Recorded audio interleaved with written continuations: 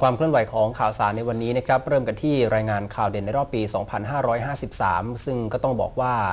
นโยบายประชาวิวัฒน์ของพรรคประชาธิปัตย์เป็นรัฐบาลอยู่ในตอนนี้เนี่ยนะครับได้สร้างความฮือฮาให้กับคนในสังคมเป็นอย่างมาก แล้วก็ บอกว่าเป็นโครงการที่คิดนอกกรอบบริหารคิดนอกกฎบริหารนอกกรอบนะครับของทางรัฐบาลคุณอภิสิทธิ์ แต่ก็ไม่วายว่าจะถูกโจมตีว่าไม่ต่างจากนโยบายประชานิยมนะครับขณะเดียวกันบางส่วนนั้นมองว่าเป็นยิ่งกว่านโยบายประชานิยม แล้วก็มองได้ว่าคลอดมาก่อนการเลือกตั้งที่จะมีขึ้นในปี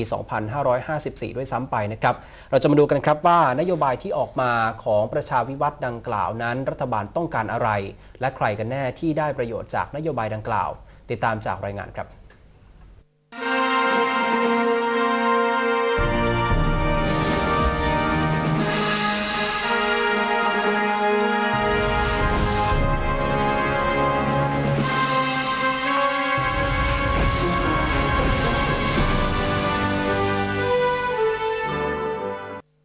แม้จะมีคำยืนยันหนักแน่นจากกรจติกาวนิช รัฐมนตรีว่าการกระทรวงการคลัง ว่าประชาวิวัฒน์ไม่ใช่ประชานิยม แต่หมายถึงคำเชื่อมระหว่างประชาชนกับวิวัฒนาการ ซึ่งหมายถึงความเป็นอยู่ที่ดีขึ้นของประชาชน และยังนำไปโยงกับแผนการปรองดองลดความเหลื่อมล้ำ แต่หากพิจารณาแนวทางการดำเนินนโยบายไม่แตกต่างกันมากนักสุริยะสายกตาศิลา เลขาธิการพักการเมืองใหม่ เห็นว่าประชาวิวัฒน์รัฐบาลอภิสิทธิ์เวชชาชีวะ มีฐานความคิดไม่ต่างกับประชานิยมของทักษิณชินวัตรเพียงแต่เป็นการเล่นโวหารเพื่อเลี่ยงการวิจารณ์จากสังคม เพราะยังคงเน้นการลดแลกแจกแถมปล่อยกู้เป็นหลัก ซึ่งทำให้รัฐบาลต้องจัดหางบประมาณเป็นจำนวนมาก และใช้เวลาอย่างน้อย 2 ปี จึงจะดำเนินการสำเร็จ จนอาจกระทบวินัยการเงินการคลัง และสร้างภาระผูกพันกับประชาชน และตั้งข้อสังเกตด้วยว่าการคลอดนโยบายก่อนเลือกตั้งไม่กี่เดือน เป็นการติดสินบนทางนโยบายหรือไม่ การออกนโยบายประชาวิวัฒน์จึงเป็นแค่การเล่นโบหารนะครับแล้วก็หลีกเลี่ยงการวิพากษ์วิจารณ์จากสังคมเท่านั้น แนวนโยบายประชาวิวัฒน์ทั้ง 5 ด้านนะครับ ยังเน้นมาตรการลดแลกแจกแถม การปล่อยกู้นะครับเป็นหลัก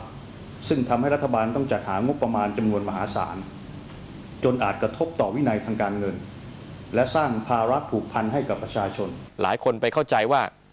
เป็นการลดแลกแจกแถมอะไร ที่จริงถ้าดูให้ดีนะครับ มาตรการเหล่านี้เนี่ยใช้งบประมาณเนี่ยน้อยมากครับ แต่เรากำลังเข้ามาแก้ไขในเชิงของโครงสร้าง เพื่ออำนวยในเรื่องของความเป็นธรรม เพื่อลดความเหลื่อมล้ำที่มีอยู่ในสังคม นโยบายที่เอ่อใช้เงินงบประมาณ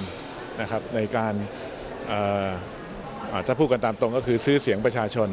ในรูปลักษณะที่อาจจะไม่เป็นประโยชน์ต่อประชาชน หรือระบบเศรษฐกิจในระยะยาว ถามว่าโครงการที่ออกจากปฏิบัติการประชาวิวัฒน์เนี่ยเป็นประชานิยมหรือไม่ แต่ละโครงการเป็นโครงการที่แทบไม่ต้องใช้เม็ดเงินงบประมาณเลยนะครับมันเป็นการปฏิรูปแนววิธีการทำงาน การใช้งบประมาณมีบ้างนะครับแต่ไม่ได้เป็นการมอบอะไรให้ฟรีๆ ก่อนที่รัฐบาลจะประกาศนโยบายนี้อย่างเป็นทางการ เพียงแค่แย่แนวทางคร่าวๆ ก็มีเสียงวิพากษ์วิจารณ์และคำเตือนออกมาหนาหู บรรทุนล่ำซำซีอธนาคารกสิกรไทย มองเป็นแผนการตลาดทางการเมืองอย่างหนึ่ง ซึ่งถือเป็นเรื่องปกติที่ทุกรัฐบาลจะต้องทำแล้วแต่จะออกมาในรูปแบบใด และยังไม่มั่นใจว่าจะช่วยกระตุ้นเศรษฐกิจได้แค่ไหน ด้านโคสิทธิ์ปั้นเปี่ยมรัฐ ประธานกรรมการบริหารธนาคารกรุงเทพเตือนว่า อย่าทำนโยบายแนวนี้มากไป เพราะจะเป็นภาระต่องบประมาณ และเสนอแนะให้รัฐบาลควรช่วยเหลือประชาชนในลักษณะที่ก่อให้เกิดการพัฒนา โดยเฉพาะความรู้ในด้านทักษะอาชีพ เพื่อการพัฒนาที่ยั่งยืน ประชาชนจะได้รู้จักพึ่งตัวเองเป็นชื่อการตลาดทางการเมือง แต่ว่าในความเป็นจริงก็คือกก็ต้องมีการกระตุ้นการบริโภคกันบ้าง ส่วนกระตุ้นตรงไหน กระตุ้นมากน้อยอย่างไร ได้ผลอย่างไรนั่นก็เป็นเอ่อเป็นเรื่องที่จะต้องวัดผลกัน แต่เรามองว่ามันก็คล้ายๆกับประชานิยมไหมคะไอ้นี่มันก็เถียงกันไปเถียงกันมานะฮะมันก็มันก็ไม่ได้มีคำตอบที่ถูกต้องหรือผิดอะไรนะเพียงแต่ว่ามันก็เป็นการกระตุ้นเศรษฐกิจในรูปแบบต่างๆ แต่ที่น่าสนใจกว่าคือว่ากระตุ้นตรงไหน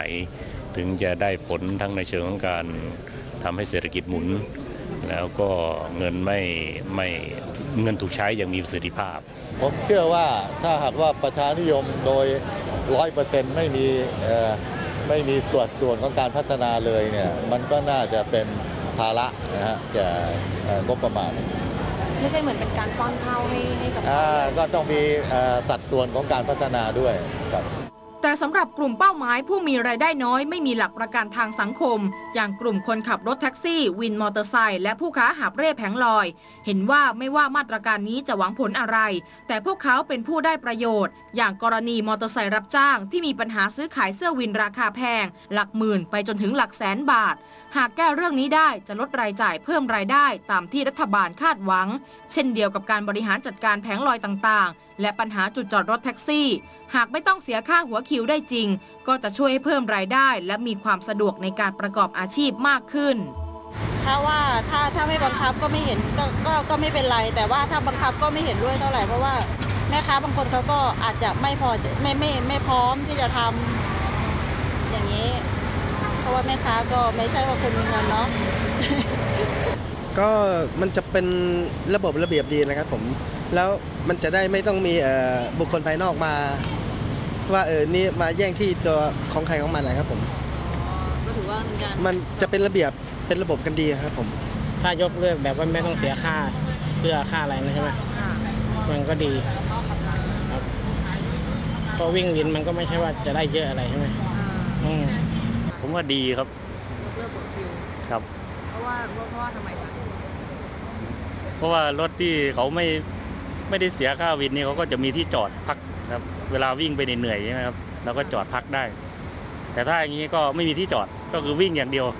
ไม่ว่านโยบายนี้จะใช้ชื่ออะไร แตกต่างหรือไม่จากทักษิณชินวัตรกับคิดใหม่ทำใหม่ และอภิสิทธิ์เวชชาชีวะ กับคิดนอกกฎบริหารนอกกรอบ ประเด็นอยู่ที่ประชาชนจะมีความเป็นอยู่ที่ดีขึ้นอย่างยั่งยืนหรือไม่ นี่ยังไม่นับรวมมาตรการลดค่าครองชีพ รถเมล์รถไฟค่าไฟฟรี ที่ต่ออายุถึงกุมภาพันธ์ 2554 แถมมีแนวคิดจะทำมาตรการเหล่านี้อย่างถาวรอีก หวังก้าวเข้าสู่รัฐสวัสดิการ ในขณะที่การปรับโครงสร้างภาษีทั้งระบบยังไม่ชัดเจน ดังนั้นตราบใดที่ยังหารายได้ไม่ทันกับรายจ่าย ในที่สุดภาระจะวกกลับมาตกอยู่ที่ประชาชน กลุ่มคนที่นักการเมืองใช้เป็นเครื่องมือทุกยุคทุกสมัย ไม่ว่าใครกลับมาเป็นรัฐบาล